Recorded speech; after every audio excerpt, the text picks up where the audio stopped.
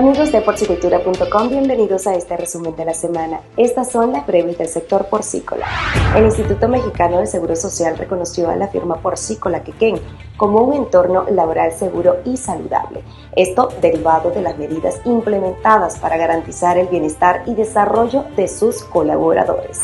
En marzo, las importaciones mexicanas de cerdo estadounidense disminuyeron en 11% respecto al mismo mes del año pasado marcando así la primera contracción interanual en los últimos 16 meses, según reportó la USMIF. Esta semana en su columna Análisis de carne y hueso, Gerardo Rodríguez de la USMIF en México explicó que contrario a la percepción usual, los precios de la carne no son tan altos si se les compara con otros alimentos. Los invitamos a leer su comentario completo en nuestra sección de análisis y opinión.